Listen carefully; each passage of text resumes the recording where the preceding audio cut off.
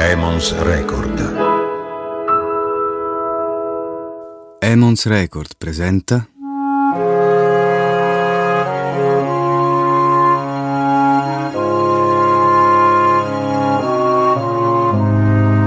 Il più amato dagli italiani. La storia di Sandro Pertini in sette puntate.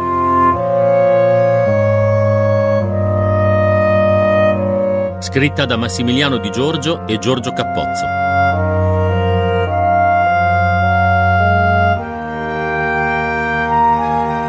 Episodio 1 Il presidente tifoso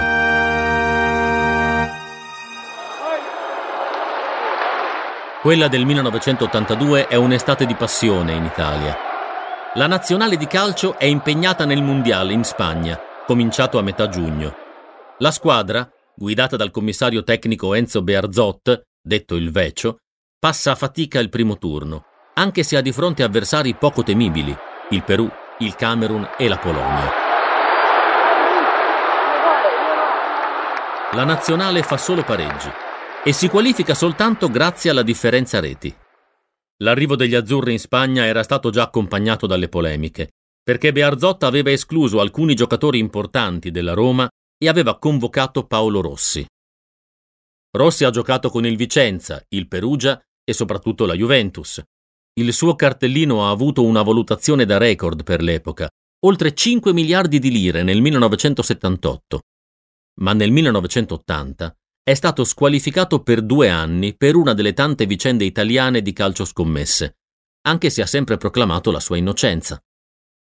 Nelle prime partite Paolo Rossi gioca male, in campo sembra un fantasma, come la nazionale.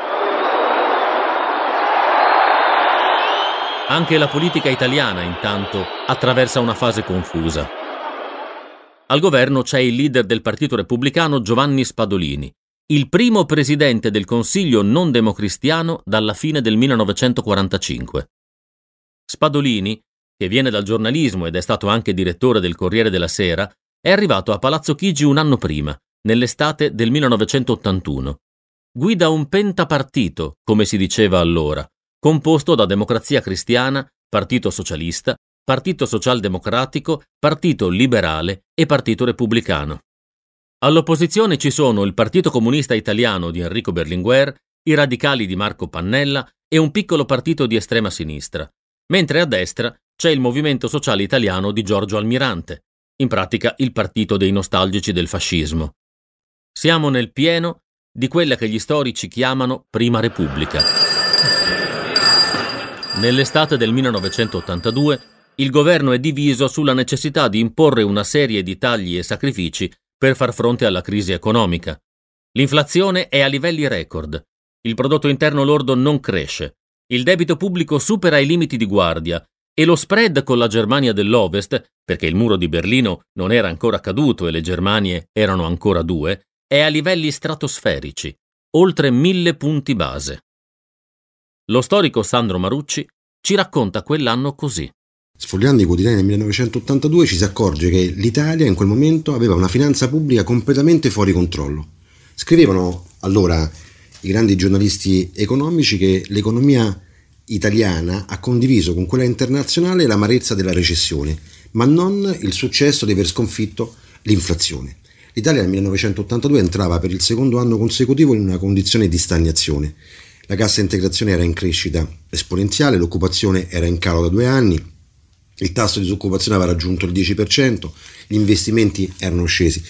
Il costo della vita nell'82 aveva registrato sì un certo declino, ma comunque il tasso era comunque del 16,5% e soprattutto era aumentato il divario rispetto agli altri paesi che invece avevano ottenuto grandi successi, grandi progressi nella riduzione del livello dei prezzi. Se pensiamo ai paesi industrializzati, ai tre grandi paesi industrializzati, gli Stati Uniti, la Germania e il Giappone, essi avevano ricondotto l'inflazione ai livelli precedenti alle due crisi petrolifere. Insomma, l'Italia era in una condizione drammatica. Basti ricordare che sia le spese che le entrate in soli quattro anni, dal 79 all'83, erano addirittura triplicate la spesa era cresciuta di circa 8 punti e anche il prelievo fiscale era aumentato di oltre 7 punti. L'82 è davvero un anno straordinario dal punto di vista economico e proprio in quell'anno prevale nella classe politica e anche sindacale del paese una certa insensibilità di fronte a politiche di controllo serio, rigoroso dei, dei conti pubblici. Spadolini è stato nominato a capo del governo da un presidente della Repubblica estremamente popolare, un socialista, anzi, il primo socialista nella storia italiana a salire al Quirinale.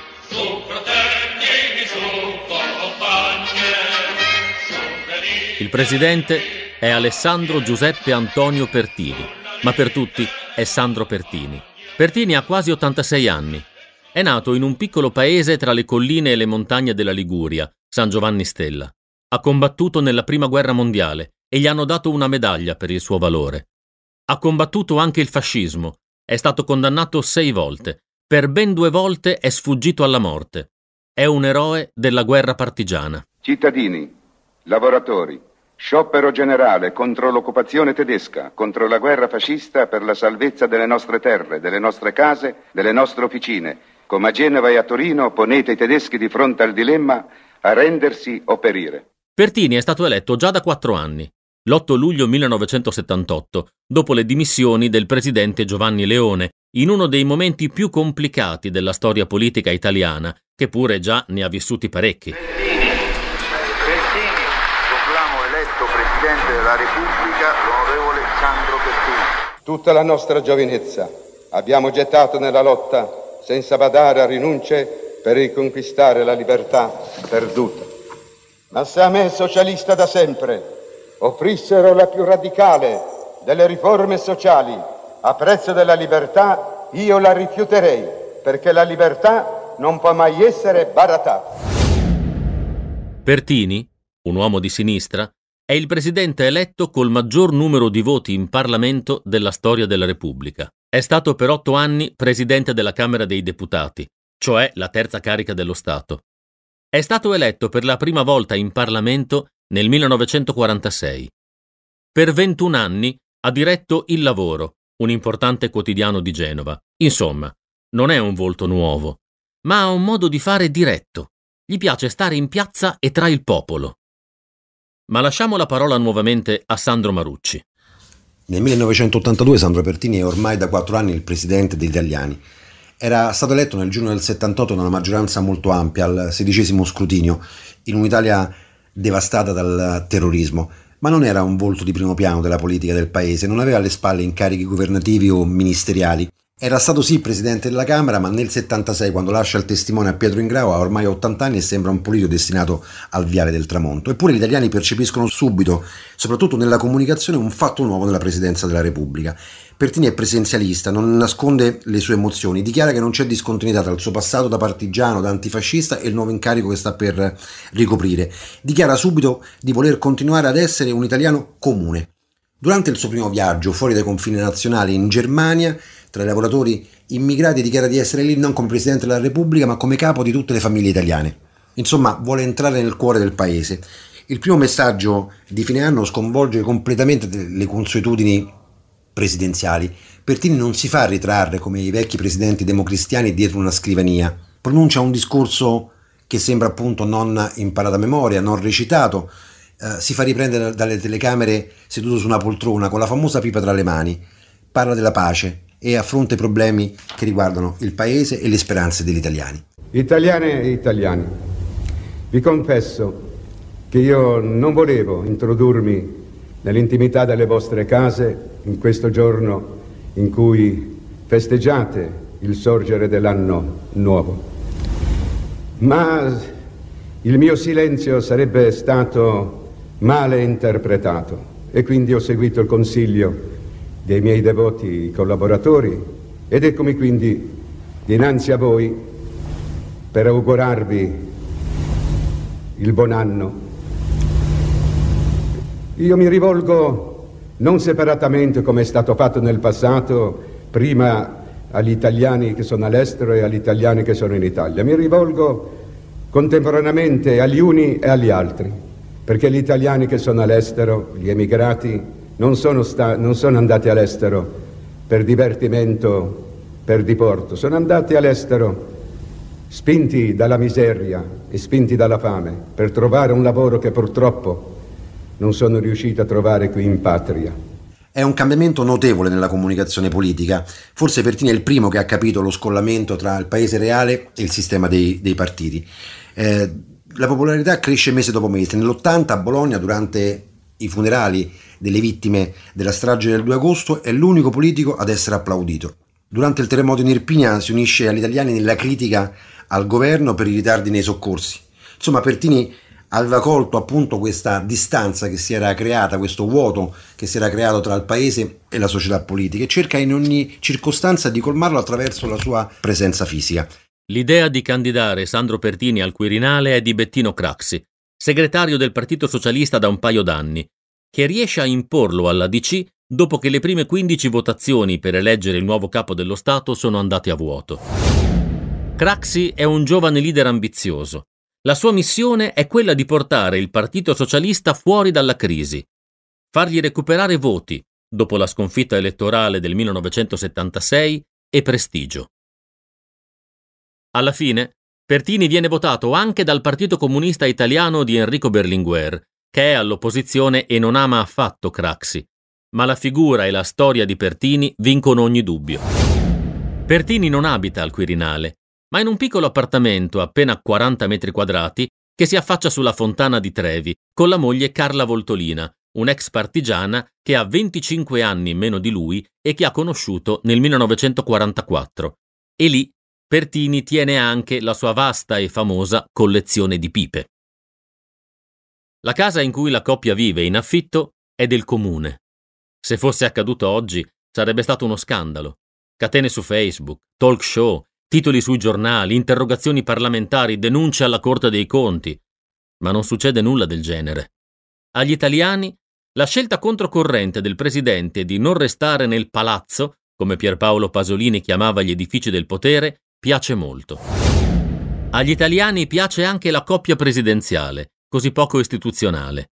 Giornalista parlamentare dopo la guerra, Carla Voltolina, considerata una donna stravagante e un po' burbera, lascia l'incarico quando il marito viene eletto presidente della Camera. Studia scienze politiche e poi psicologia e va a lavorare nel reparto psichiatrico di un ospedale di Roma. Raccontano che quando qualcuno la ferma per strada per chiederle se non è lei la moglie del presidente Pertini risponda così: Guardi, me lo dicono tutti, ma ci assomigliamo soltanto. Pertini non ha mai preso la patente. È Carla che lo porta in giro sulla sua Fiat 500 rossa e Carla continua a restare nell'ombra dopo che Pertini sale al Quirinale. Zio Vobis Gaudium Magnum.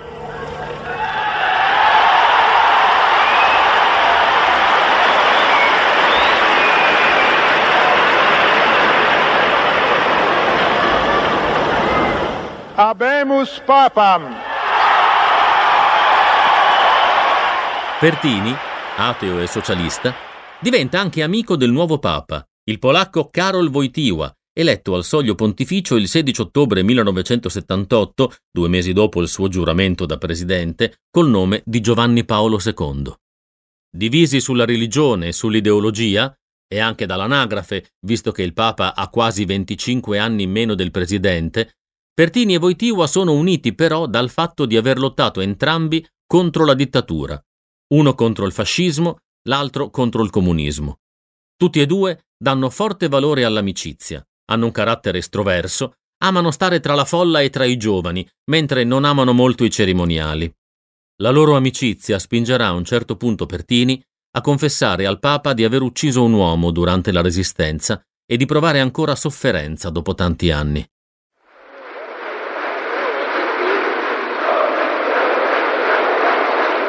Ma torniamo al 1982 e al Mundial in Spagna. A fine giugno gli azzurri si risvegliano dal torpore, anche grazie a Paolo Rossi che trova finalmente il suo riscatto. Allo stadio Sarrià di Barcellona l'Italia batte l'Argentina. Poi, il 5 luglio, gli azzurri affrontano il Brasile. Veja aí o que o torcedor italiano está fazendo. O Brasil joga o primeiro tempo ali defendendo, hein? O Valdir Pérez vai defender aquele gol ali. O Zoff, o veterano goleiro, capitão da seleção da Italia. La partita comincia con un certo nervosismo per l'Italia. I tifosi brasiliani riempiono lo stadio dei loro cori, mentre durante l'inno nazionale italiano quasi nessuno canta. Ma è Paolo Rossi a cambiare la situazione, grazie a un cross di Antonio Cabrini. Do lado esquerdo, Cabrini se aproximou. Cruzamento é perigoso. Gol de Paolo Rossi para a Itália. Ne nasce una partita entusiasmante che finisce 3-2 per l'Italia, grazie a Dino Zoff che para un tiro sulla linea della porta proprio all'ultimo secondo. Rossi, che firma tutte e tre le reti azzurre, dopo quell'avventura in Spagna sarà soprannominato Pablito. A quel punto l'Italia, che non vince un mondiale dal 1938, crede ormai alla vittoria. Ogni partita è l'occasione in tante città per sfilare in corteo con la bandiera tricolore e fare festa. L'8 luglio, nel mitico Camp Nou di Barcellona, gli azzurri incontrano di nuovo la nazionale polacca di Zibi Boniek. La prima partita, a giugno, era finita 0-0. In Polonia la giunta militare guidata dal generale Jaruzelski ha proclamato alcuni mesi prima la legge marziale, per cercare di domare la protesta scatenata dal sindacato democratico Solidarność. Obywatelki i obywatele Polskiej Rzeczypospolitej Ludowej, zwracam się dziś do Was jako żołnierz i jako szef. Allo stadio vengono esposte due bandiere di Solidarność. La polizia spagnola le rimuove, ma per cinque lunghi minuti il pubblico scandisce lo slogan Solidaridad Polonia in diretta TV. Alla fine di una partita poco interessante e piena di falli, l'Italia vince per due gol a zero, segnati entrambi da Rossi. Qualcuno racconterà che alla Polonia è mancata anche la benedizione di Papa Wojtyła. Qualche mese prima era stato proprio Boniek a chiedere al pontefice durante una visita in Vaticano una preghiera per la nazionale polacca, ma Giovanni Paolo II rispose che Dio non si poteva scomodare per queste piccole cose. L'Italia si avvia alla finale di domenica 11 luglio a Madrid contro la Germania Ovest. In Italia, il giorno prima, sabato 10 luglio, i partiti di maggioranza sono riusciti a trovare finalmente un accordo e il governo Spadolini ottiene di nuovo la fiducia del Parlamento. La maggioranza che sostiene Spadolini, comunque, non durerà che poche altre settimane. Dopo uno scontro tra i ministri economici del Partito Socialista e della Democrazia Cristiana, Spadolini darà le dimissioni il 7 agosto. La mattina dell'11 luglio, Pertini vola a Madrid per la finale, che si gioca alle 20, le 21 in Italia. Come nello stile del presidente, è una decisione praticamente a sorpresa. Anche il presidente del Consiglio Spadolini vorrebbe andare, ma è proprio il Quirinale a suggerirgli di restare a Roma. C'è da pensare alla stabilità del governo. In compenso, due ministri arrivano con normali voli di linea. Arrivato a Madrid, accompagnato da un pugno di giornalisti allertati all'ultimo minuto, va subito a trovare gli azzurri. Al goleador Rossi raccomanda: I tedeschi sono robusti, cerca di non farti pestare i piedi. Pertini vedrà la partita in tribuna, accanto al giovane re spagnolo Juan Carlos e al cancelliere tedesco Helmut Schmidt. L'Italia vince 3-1. Segnano Rossi, Marco Tardelli e Alessandro Altobelli. Tutti i gol sono concentrati nel secondo tempo. Pertini è quasi sempre in piedi. Più tardi racconterà che quel momento è stato probabilmente il più bello della sua presidenza. Io a ogni gol che segnavano non stavo seduto come voleva il protocollo, mi alzavo e mi scatenavo ad applaudire, mentre ripeto il re di Spagna applaudiva un po' di nascosto perché c'era Smith tutto nero in volto perché stava perdendo la squadra tedesca. Dopo la partita, col solito strappo al protocollo, Pertini evita il ricevimento ufficiale all'ambasciata a Madrid e va invece a festeggiare con il suo staff in un tablao, un locale dove si assiste a spettacoli di flamenco e si cena. Pertini è contento. Ordina un piatto pieno di aglio. Scherza sul fatto che tanto a tavola non ci sono signore da baciare.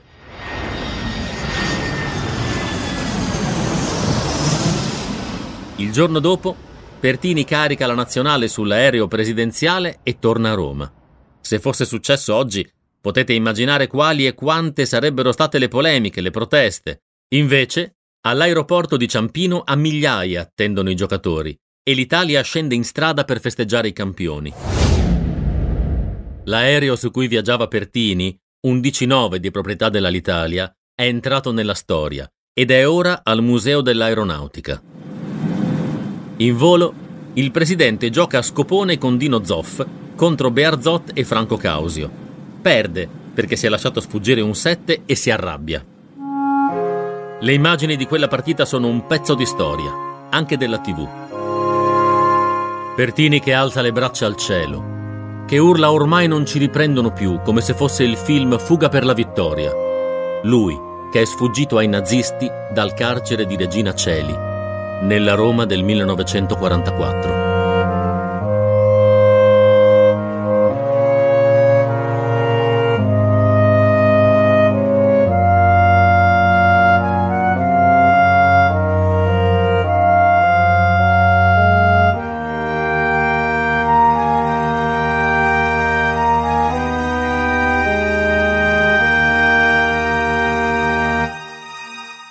Avete ascoltato Il più amato dagli italiani, la storia di Sandro Pertini in sette puntate.